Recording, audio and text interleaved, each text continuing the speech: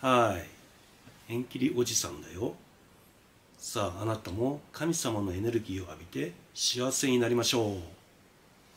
ということで今回は市木島姫の神様のお力で何もかも全てがうまくいく。さて市木島姫の神様のご利益はこちらのようになっていますが説明欄概要欄にも書いておきますね。それで例によってエネルギーを送る前に大事なお願いです。チャンネル登録高評価ぜひともよろしくお願いいたします。さあそれでは一木島姫の神様のお力で何もかも全てがうまくいく。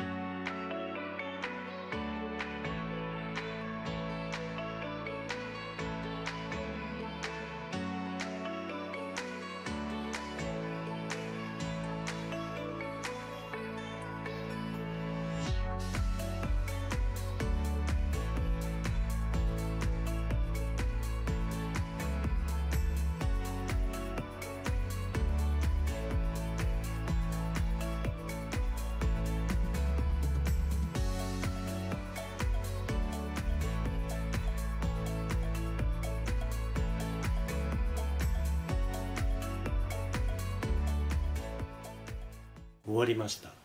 さあこれで何でもどんと来い。ですね。それではまたあなたとお会いしましょう。